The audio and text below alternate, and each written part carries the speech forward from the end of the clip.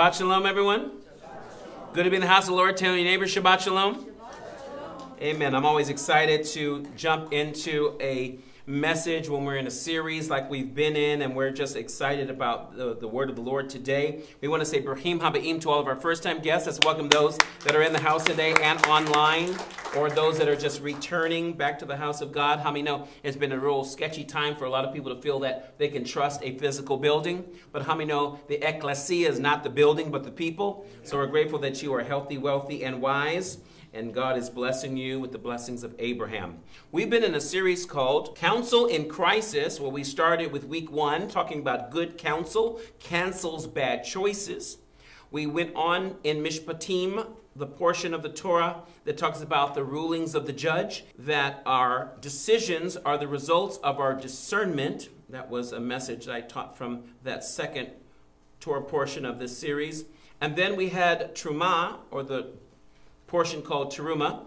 And we talked about building on a firm foundation. And then week four, we talked about wisdom is found by those who seek it. Last week was a real good one. Where is your gold going? We talked about gold to build God's ark of his presence versus the gold that could be used for a golden calf. How many know that's an image of false worship that should be replaced by true worship of God for those that worship worship in spirit and in truth? They don't worship an idol. I mean, no, we don't worship the Torah, we don't worship images, we worship God.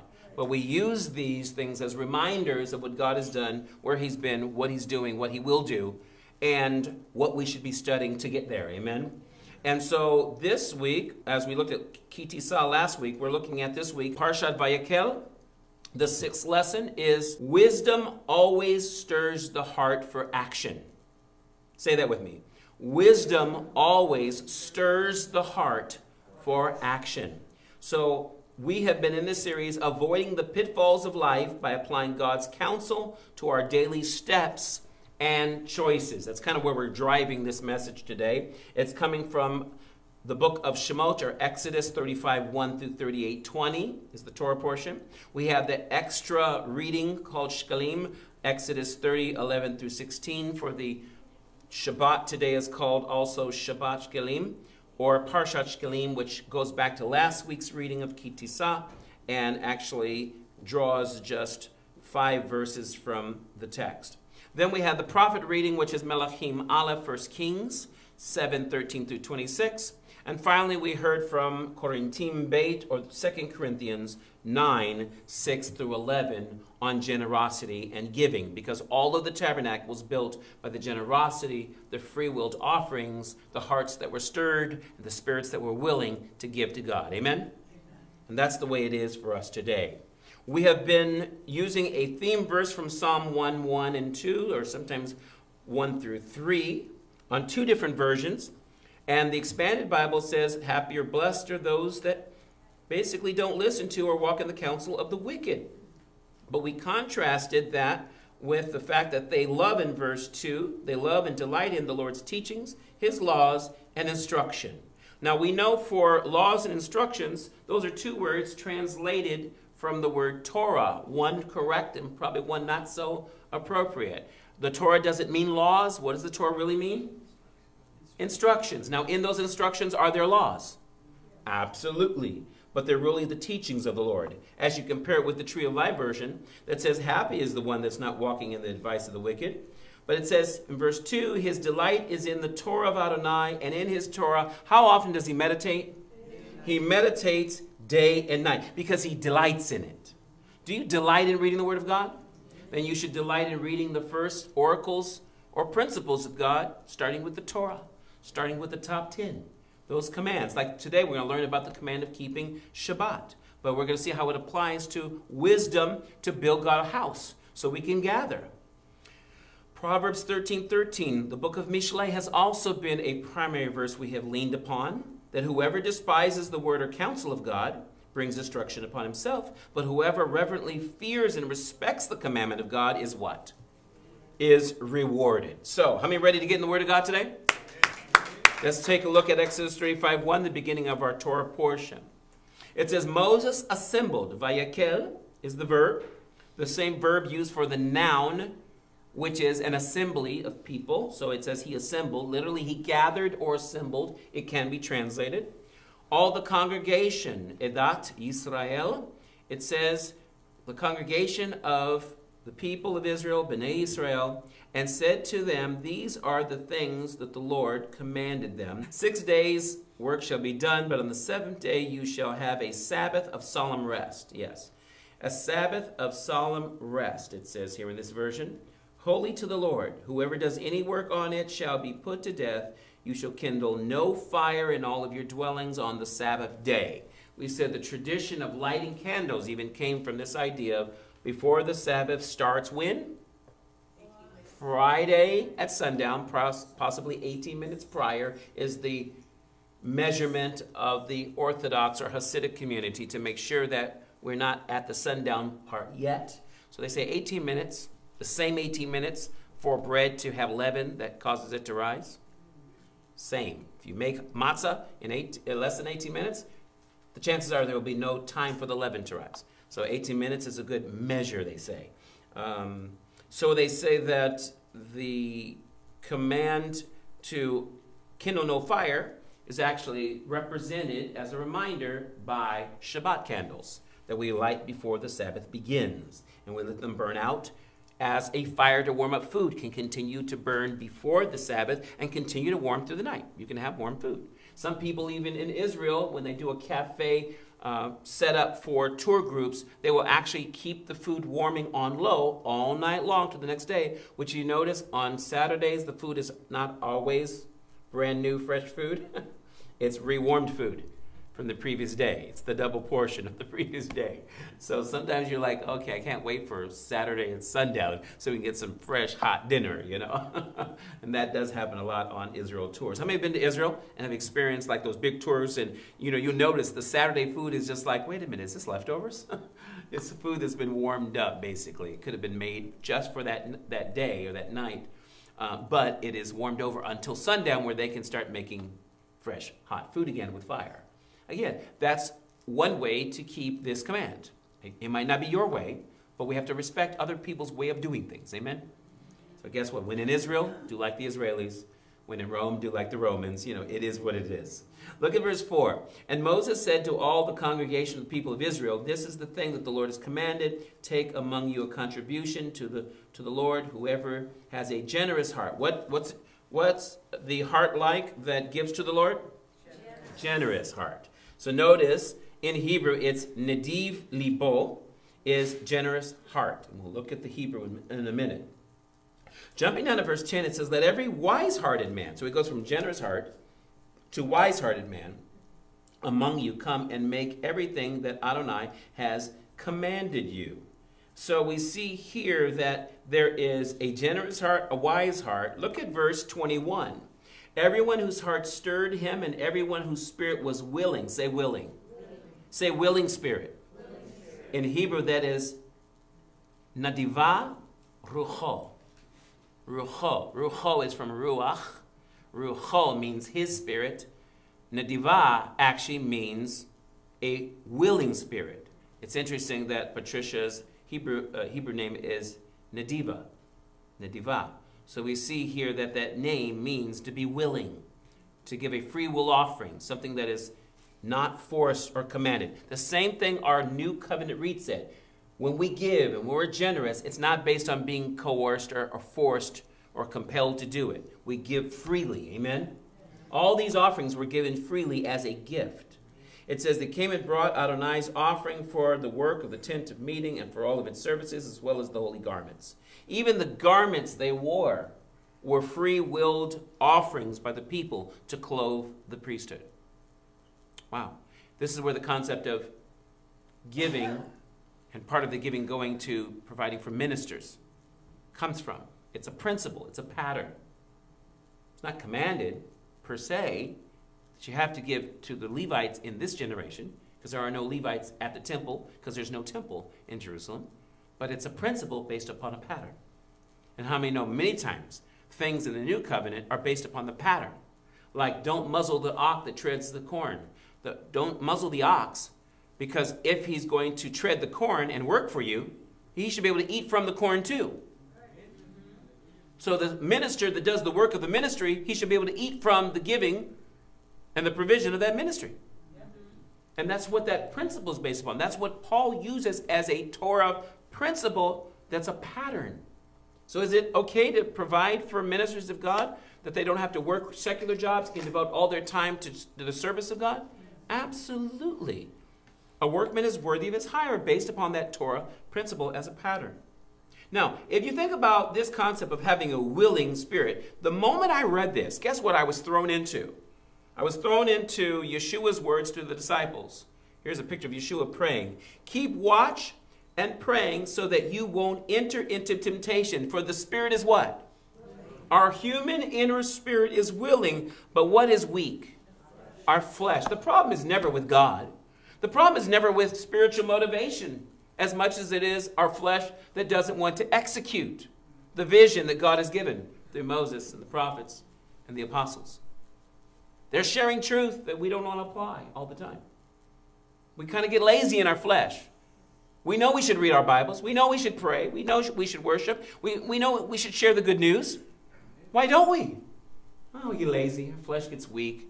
I don't want to go to them. They might judge me if I, you know, share with them about my faith in Messiah. You know, they, they're going to reject me or I'm going to look funny like, you know, one of these, you know, crazy holy rollers, radical, you know, fanatics and fanaticism. And, you know, because we look down on fanaticism, right? We look down on the Islamic world. We look down on it in the Jewish world at times. We look down on it in the Christian world. Everyone can be considered a fanatic. We even can do that in the political world. Fanaticism. But there's a difference between, be, between being a fan and a fanatic. How many know you can be a fan and rah, rah, rah and root on your team? That doesn't mean you have to be a fanatic to where your whole life is absorbed by one focus with the wrong purpose. Right? Putting too much energy into one thing.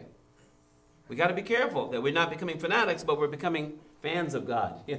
Fan the flame. I should use another verb usage of that word. Uh, the idea is that our spirit is willing, but our flesh is weak. And the Bible says that the people that gave, gave willingly. Their spirit was willing. Look at the Hebrew here. The first time we encountered was willing heart. Nediv libo. Nediv. Nediv libo.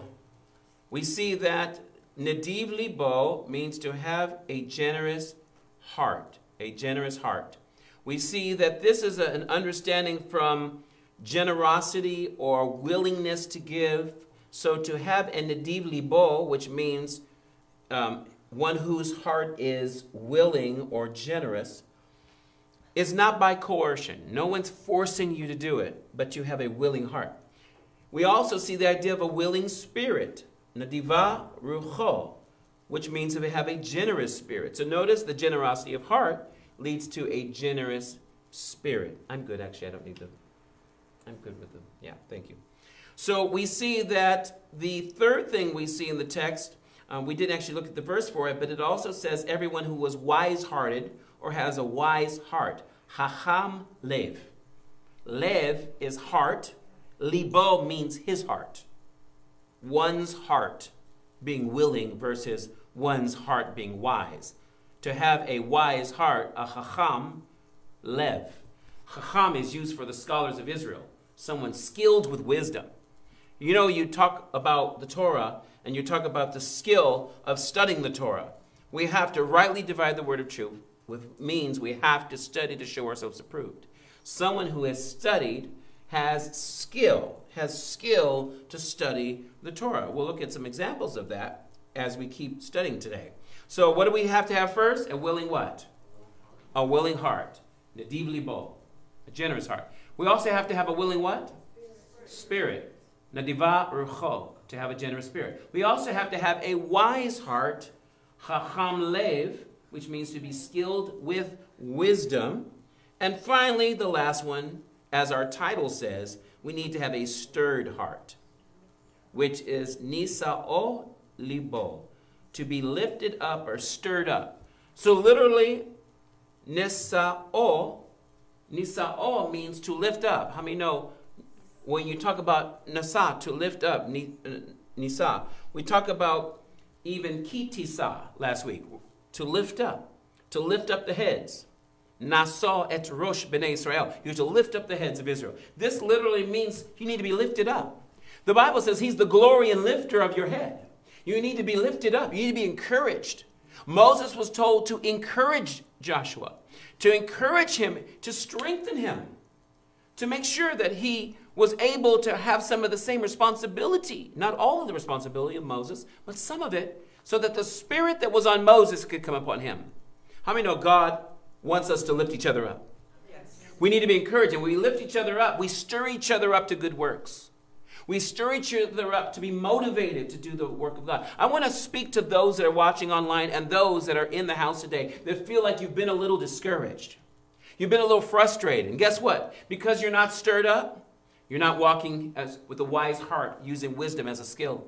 And because you're a little discouraged without having your heart stirred and you're not feeling wise, you're not willing in spirit and you're not willing in heart. First thing that happens is people stop being generous. And I'm not just talking about money today. I'm talking about your time, your talent, your treasure, yourself. To give of yourself. Now, some of you are hilarious, cheerful givers. I mean, you give of your time, talent, and treasure. Some of you ladies, the food you're giving on Saturdays, the oneg is just exceedingly abundantly above all I could ever ask or think. There was a season where we had to plead, beg, borrow, minus steal. We had to beg people, please bring some food for our oneg, please. We'd have to actually go take some offerings, physical money, go buy food. Now we don't have to do that anymore. We don't even schedule it even once a month. We literally have oneg every week. Like we literally want to be like the uh, the the the priests and Moses and Aaron that just say, tell the people to stop giving so much because they're giving over and above.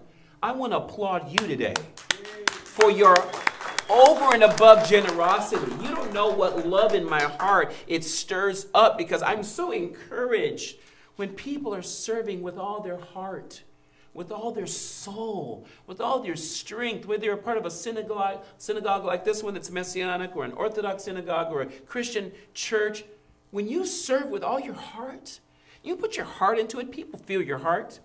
Do you know what? An ancient rabbi who wanted to be nameless said, Words from the heart penetrate the heart. How about actions from the hands? People know when you're being generous, when you're being loving. They also know when you're doing for an ulterior motive. But if we can stay pure before God, do things with a pure heart, man, who would not want to be a part of this fellowship? Who would not be welcome when they walk through the door and everybody wants to get to, everybody wants to know your name, right? I mean, you know, it's like you walk through the door and you're like, oh, you're back.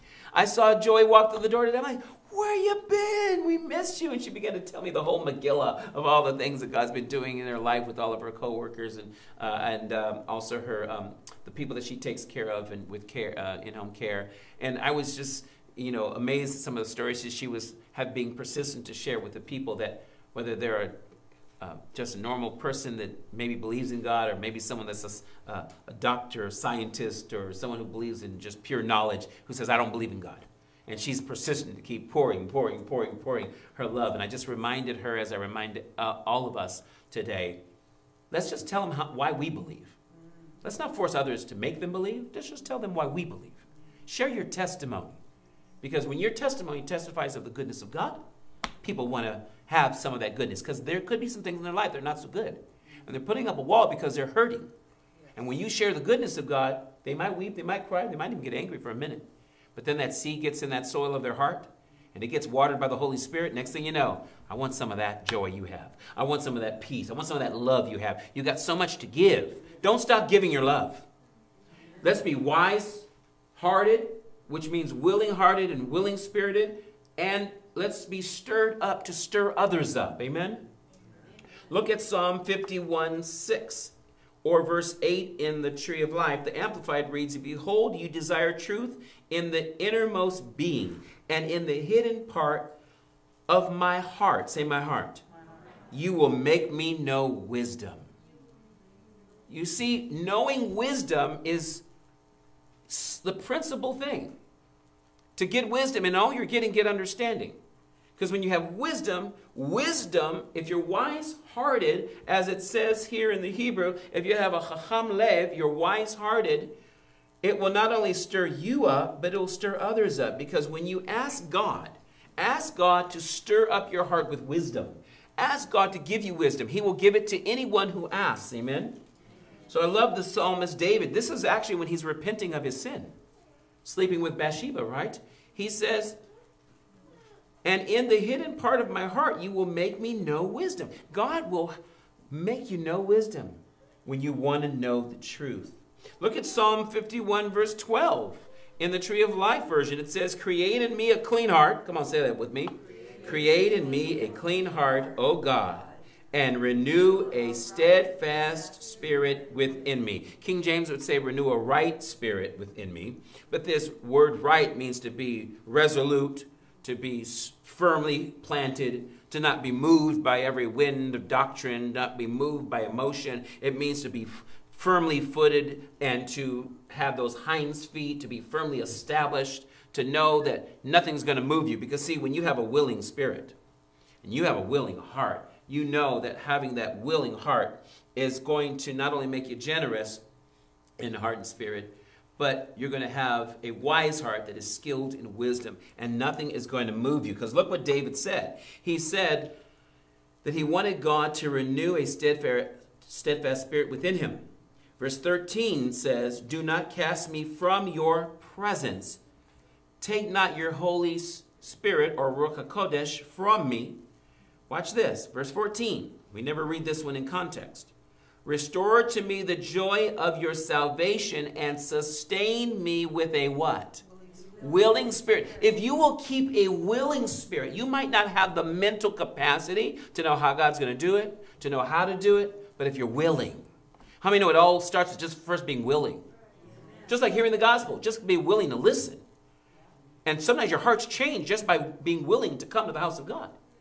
You know, just inviting someone to the house of God. Can you imagine if we all actually targeted someone to invite them to come?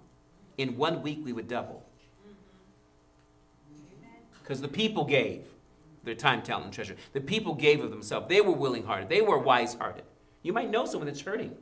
Bring them on a Saturday. Say, I want you to hear a message that's going to really encourage your heart. You're to learn about counsel and wisdom and understanding. And I, I, I feel like from the times we've talked, you need some of that in your life. So I'd love to invite you. Come sit right next to me. Meet me at this time. We'll have some coffee.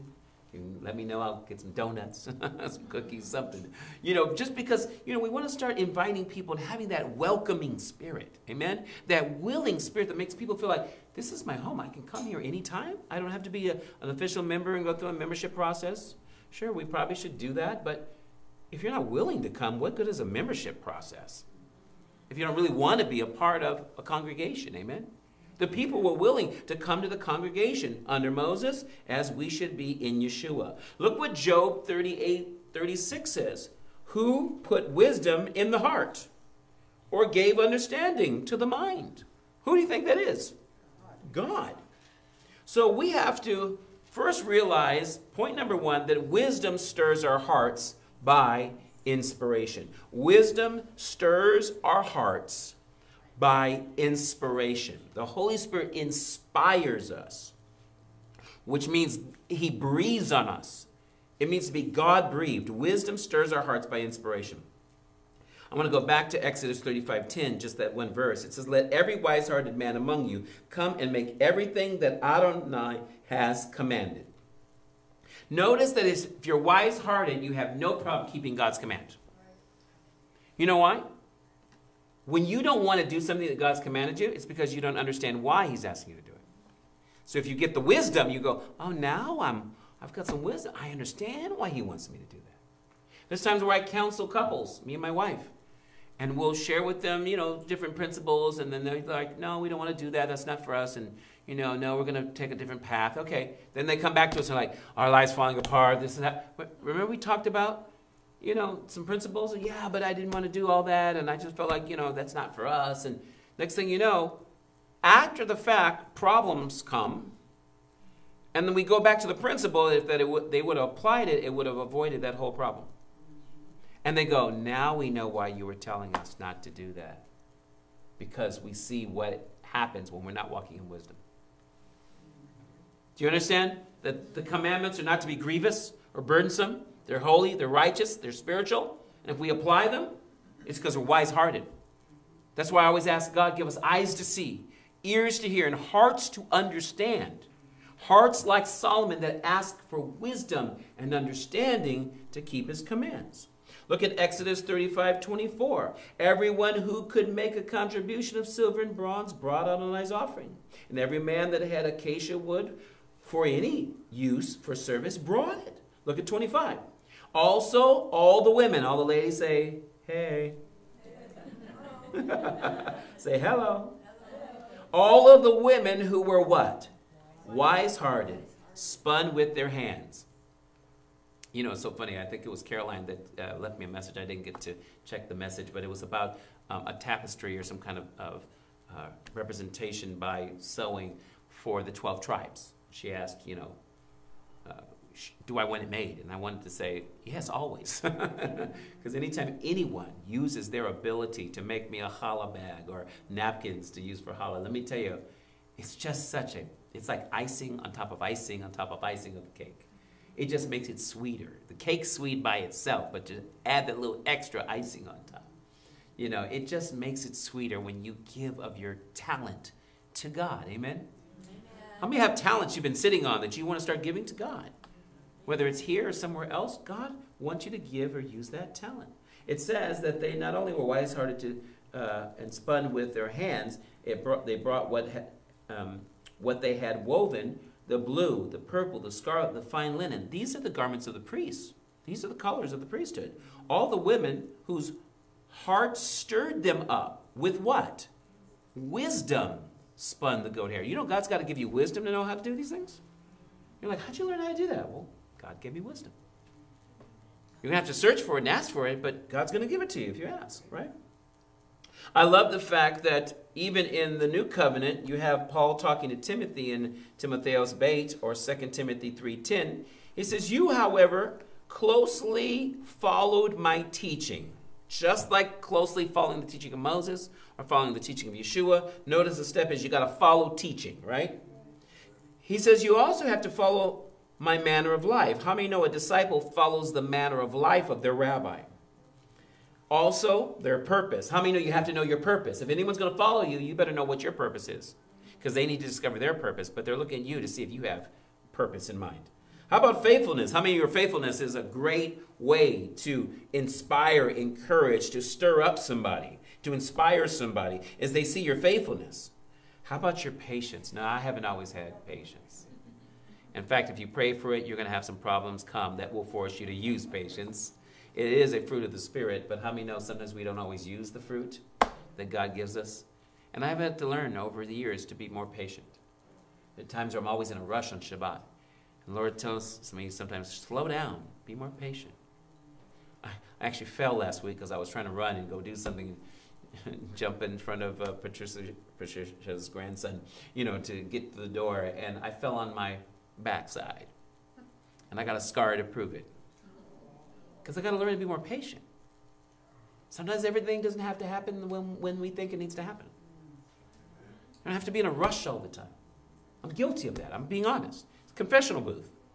Yom Kippur's down the road, but I'm just telling you, I haven't been always so patient. I want you to forgive me for not being patient with you. Being more patient. If I've ever been in a rush, forgive me because I want to be more patient. Because I want to be like Paul, a good example to the young Timothys, to the young sons and daughters of the house. I apologize. Someone's watching online, I apologize for not being more patient. That's a, that's a not a gift.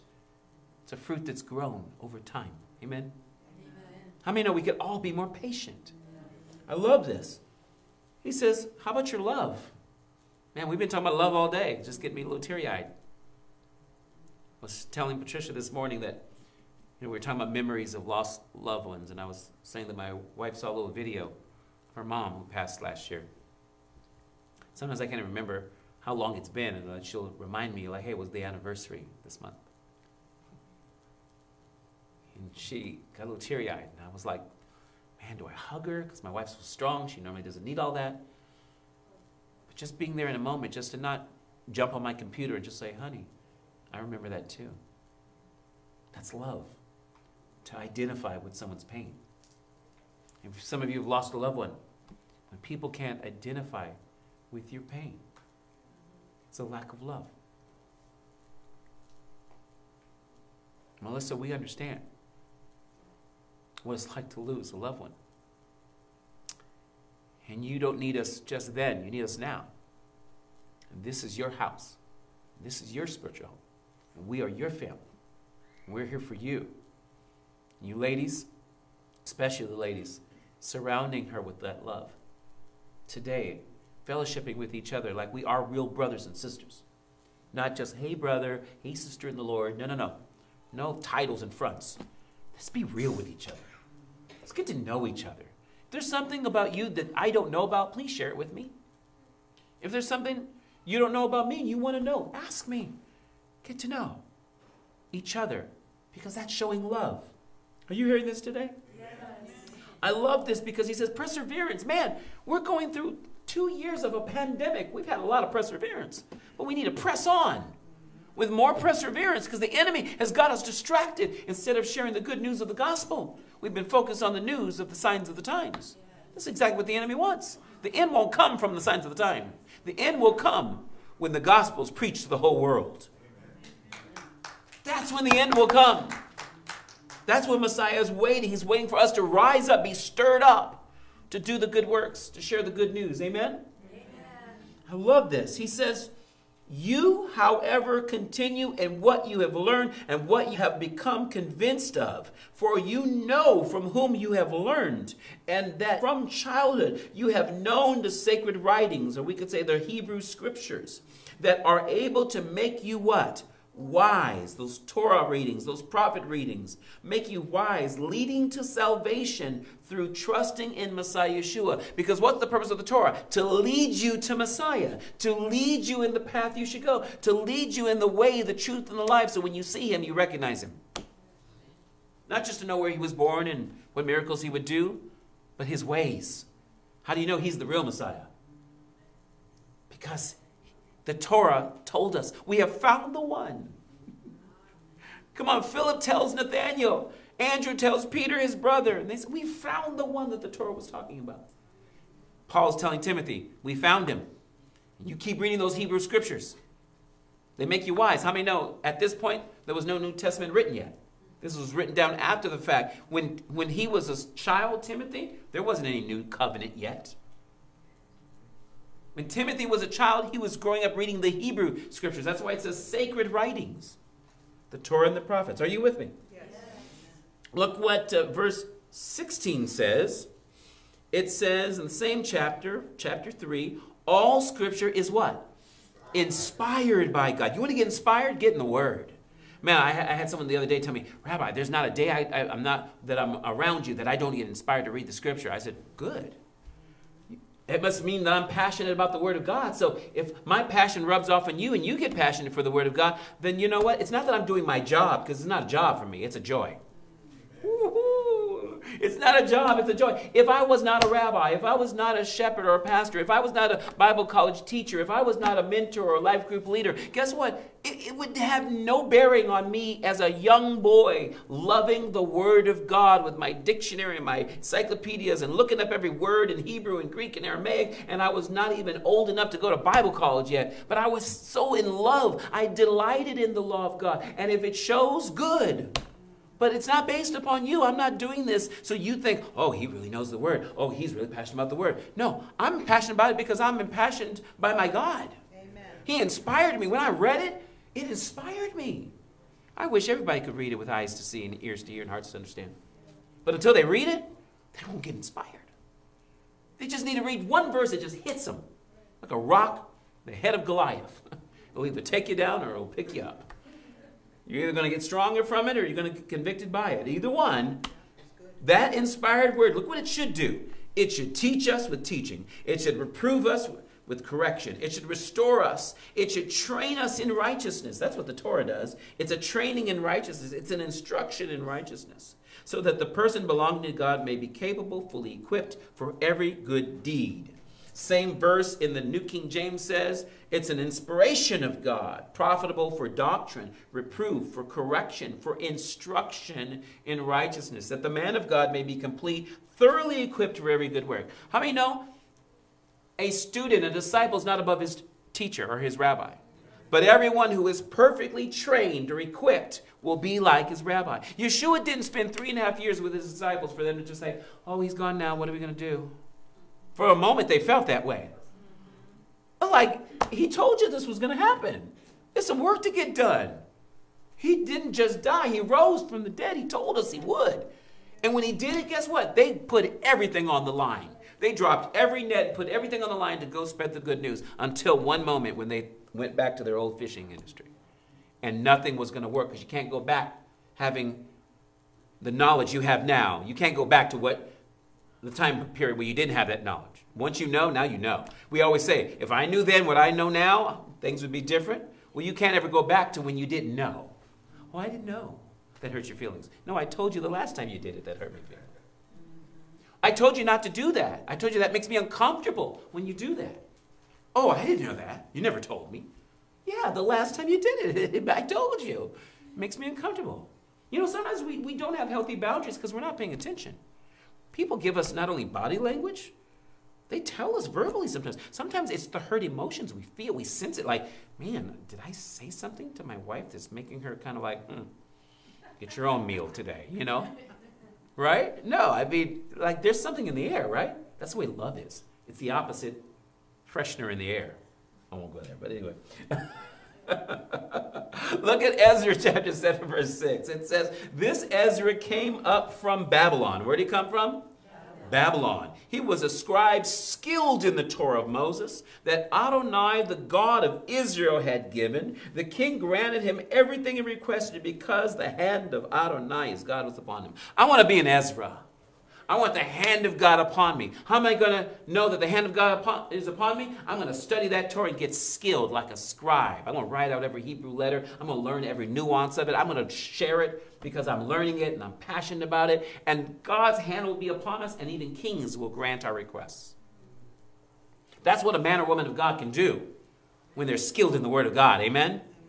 I'm telling you, our pastors, our teachers, our leaders, our rabbis, we need to get skilled in the Word of God so the hand of God can be upon us, so that kings and people of authority can re- honor our requests. There's nothing God will not do for a man or woman of God. Amen. When you are studying the Word of God, you get skilled, you know your Word, you're not backing down from some person that says there is no God. No, I know you can I know that I know that I know that I know there's a God. Let me tell you why I believe. Let me tell you why I put my faith in him. Let me tell you why I'm no longer hopeless. Because I've got a God who gives me hope. Hatikva. He gives me the hope. He gives me that hope inside me. And there's no way that you can turn that around for me. Because to every man I'm going to give an answer for the hope that lies within me. That's what we have to get skilled about. In fact, Paul says it this way to the Corinthians in 1 Corinthians 3:10, according to the grace of God which was given to me. Look at this. He says, I'm like a skilled master builder. I've laid a foundation and another builds on it, but let everyone each consider carefully how he builds on it. Paul's basically saying, Pharisee, don't come in and mess up what I'm doing with the Gentiles. I built a foundation with them. I had to start from the bottom. I built from the ground up. They didn't know the Torah, so I had to build from the ground up, line upon line, precept upon precept, just like a Jew in Babylon, like Ezra. He had to learn and get skilled in the Torah. How many know in Babylon you couldn't study the Torah? But until you come out of Babylon, then you can get skilled. The church needs to come out of Babylon. Synagogues need to come out of Babylon. Congregations need to come out of Babylon. We, as the believer, need to come out of Babylon. Babylon, like Egypt, tells us we can't worship our God. We can't talk about our God. We can't study our God. Like Esther, who couldn't mention his name publicly in Persia. And the Persians overthrew the Babylonians. Just like the Persians were overthrown by the Greeks. Greeks were overthrown by the Romans. Every worldly system wants to shut us up. Mm-hmm. They don't want the name of our God pronounced. They don't want the name of our God lifted up. We need to be stirred up and encouraged. We've got skill. We've got wisdom. We are wise. We are generous. We are givers. Come on, somebody. We are people that know the Word of God, and there's no one that's going to turn us around. Oh, I hope you're stirred up today. Because then you find out wise hearts, my second point, wise hearts develop their skills through consistent motivation and meditation. If you're going to be skilled, it must have consistent motivation and meditation. In fact, we talked about last week how in Exodus 31 that it was in verse 3 the Spirit of God that gave these artisans wisdom and understanding and knowledge for their craftsmanship. What did they give? They gave their gold, their silver, and their bronze. They gave all of the wood. They gave all of the things that these artisans, like Oholiab here in the text, who was wise hearted and had skill, it says they were able to do everything God commanded because they had skill. If they didn't have skill, you can't complete a task of God if you have no skill to perform it. Oh, I want to be a preacher. You do. Better study the Word of God. Get some skill. And I, I, remember youth camps where young kids would go, I'm called to the ministry. Like, the next few years, they'd fall away. And you, preacher's kids, and you're thinking, what happened? They got a calling, and the enemy heard that call. They knew the call, but they didn't do anything with it. They didn't study to show themselves approved. They didn't sit under someone and get trained. So therefore, the enemy snatched them like a seed snatched from the wayside soil. Those some of those ministers' kids are not even serving God today. Sad. Because we have to pour into this generation. Look at chapter 36, verse 1 in our portion. So Bezalel and Aholiab are to work along with every wise hearted man in whom Adonai has placed what? Insight and understanding. Look at verse 2. It says, All of the wise hearted men in whose minds Adonai has put what? wisdom, or New King James says, in whose heart the Lord has put wisdom. You have to understand that the text, like the Tree of Life version says minds, but actually the actual Hebrew says heart. Because God will not put something in your mind if you don't have a wise heart. Because He doesn't want to fill our mind with a bunch of wisdom and knowledge and facts if our heart's not right with Him. Because all you do have, you have an arrogant, knowledgeable person who can't humble themselves in the presence of God because they know so much my generation, we got lost. Because we didn't always have leaders that were consistent, like Moses leading Joshua's, like Paul leading Timothy's, and like Yeshua leading Peter, James, and John and the other disciples. We need consistency. Young Joshua's need consistent motivation. Our sons and our daughters need to be motivated. But we don't speak words that motivate. We point out the wrong, but we don't show them the right or encourage them when they do right? Why would they want to continue if we're not motivating them? You see, we found out that wise hearts develop their skill through what? Consistent motivation and meditation. In fact, if you look at 36 verse 4, it says, Then all the skilled men were doing the work of the sanctuary. The skilled men. Look what happens in verse 5 eh, eh, they said to Moses, The people are bringing much more, much more than enough for the work of this construction that Adonai has commanded. Verse 6 says, So Moses gave an order, and they proclaimed it throughout the camp, saying, Neither man nor woman make anything else as an offering for, for the sanctuary. So the people were restrained from bringing more, for the work material they had was sufficient for all the work with much left over. Reminds me when Yeshua fed the 5,000 or the 4,000 in another setting. It says there was so much food, baskets of food of the fish and the loaves that were multiplied left over. The 12 disciples walked away with 12 baskets of leftovers, which was still very fresh bread. Bread that they helped break. They were able to save the other broken pieces that they broke with their own hands, that wasn't shared with the people. The very hands that broke it were the same hands able to receive it. Don't muzzle the ox that treads the corn. If I break the bread, I should be able to eat the bread too. I'm going to break some bread after service in a few minutes. Guess what? I get to eat it too. You do too. If you do the work of God, you get to benefit. Your service to God should be beneficial to you, shouldn't be burdensome to you. Amen? Look at Proverbs 49 2 or verse 3, depending on your version. It says, Hear this, all ye peoples. Give ear, all ye inhabitants of the world. Look at verse 4. My mouth speaks wisdom. Watch this. My mouth speaks wisdom. My heart's meditation is understanding. If your mouth is speaking wisdom, that means your heart is meditating on the things you're speaking. When you speak out loud, read the word out loud, and you say encouraging words out of your mouth, it get, allows you to meditate. Here's the, also the problem you'll also meditate on negative things when you're talking negatively. In fact, you will premeditate very nasty things to do to people when you're thinking about, when I get a chance, I'm going to. No. We don't want to use our meditation for bad. We want to use it for good. Because Psalm 19:8, we studied this last week that the Torah of Adonai is perfect. It's not imperfect, it's perfect. And it restores our souls.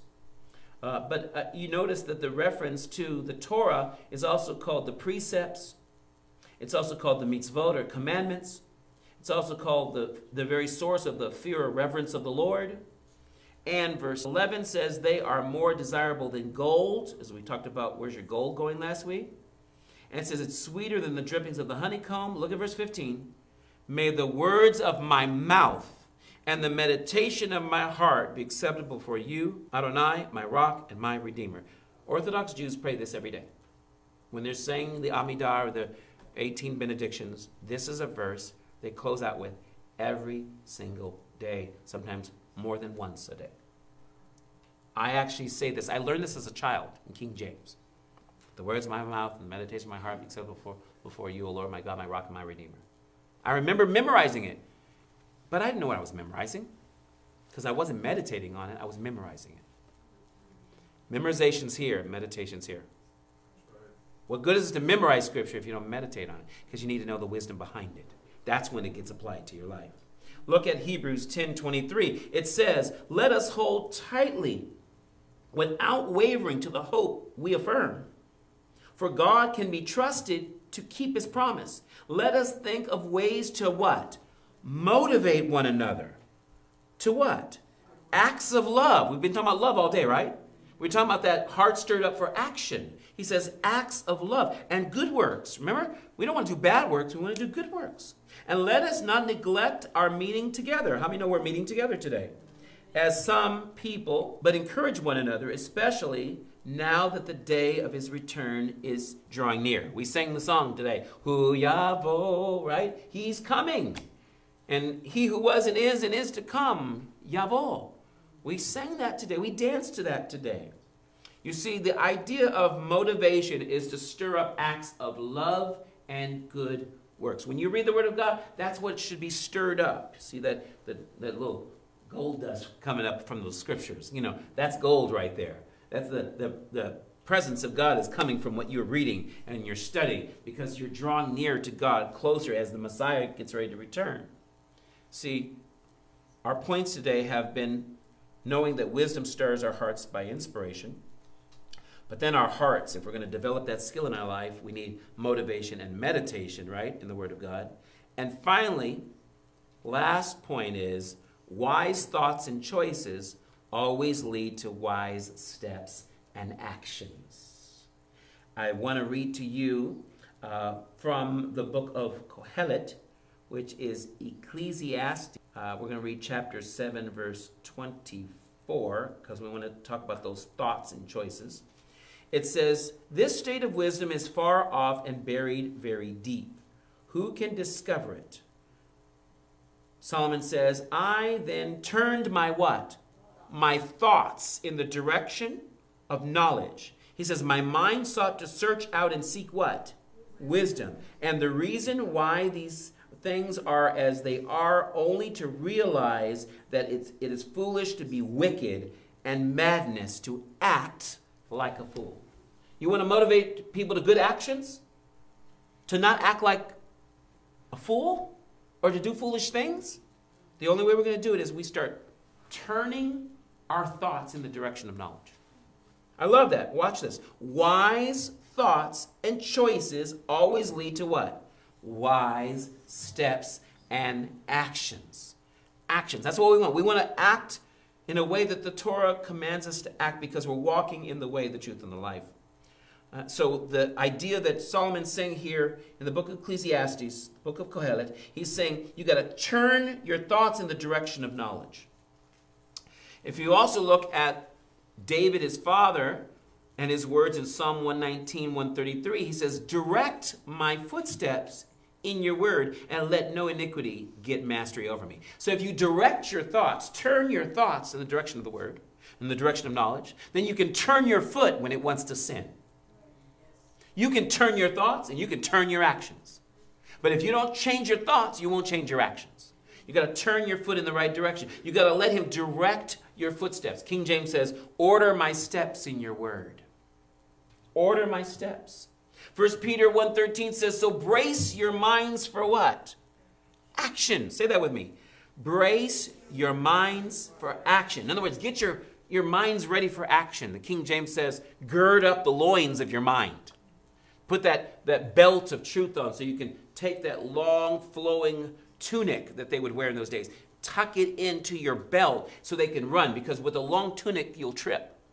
Like long flowing thoughts that need to be tucked in to the belt of truth. We can all have long flowing thoughts, but if we don't tuck in our tunic, we're going to trip over our own thoughts, our own selfishness, our own way of thinking, our own confusion about the situations. We got to brace our minds for action, or literally gird up the loins of our mind. I love if you look at verse 22 of the same chapter, it says, Now that you have purified your souls in obedience to the what? To the truth, leading to sincere brotherly love. What have we been talking about all day? Love. It's one of those examples our young people need to see in us. He says, Love one another fervently from a what? Pure heart. Haven't we been talking about that? That purity of heart? When we fellowship today, let's have purity of heart. Let's just bare our souls to each other. I don't mean tell all your dirty secrets. I don't mean like give us, you know, a view of all your dirty laundry. That's not what I'm saying. I'm saying love each other sincerely. I'm going to be more patient. I'm going to be more loving. I'm going to be more faithful to my call when I learn to slow down and enjoy my fellowship with my fellow believers. Amen today. So would you stretch your hands for the blessing? Yivarecha Adonai v'yishmerecha Ya'er Adonai panav elecha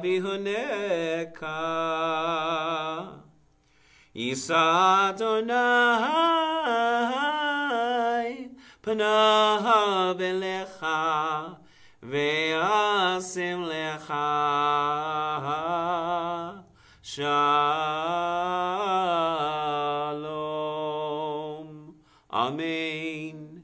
May the Lord Adonai bless and keep you. May the Lord Adonai shine his face upon you, be gracious to you. And may the Lord Adonai lift up his countenance upon you and give you perfect peace. And Sar Shalom, the Prince of Peace. In the name of Yeshua the Messiah, we pray. B'Shem Yeshua.